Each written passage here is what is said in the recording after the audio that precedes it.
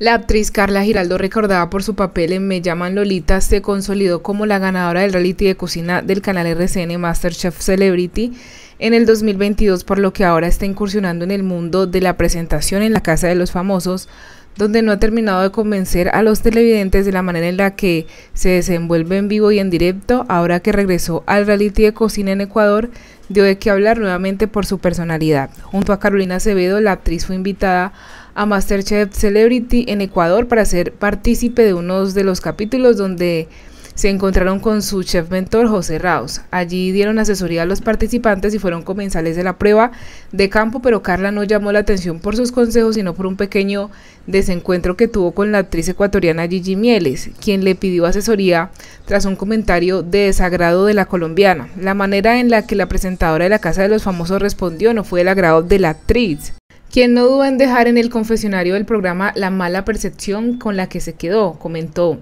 Carla vino con una vibra como pasivo-agresiva, como de, ay, ¿qué es eso? Sabía mier, o sea, di las cosas bien si no te gusta. No te gusta, pero no digas ahí, sabe asqueroso, dijo Gigi mientras imitaba con ironía a Carla Giraldo. Como si fuera poco, la ecuatoriana no perdió la oportunidad de imitarla de frente y dejarle saber que su actitud pasivo-agresiva la dejó psicoseada en la cocina, por lo que Carla Giraldo le aceptó que suele ser más agresiva que pasiva.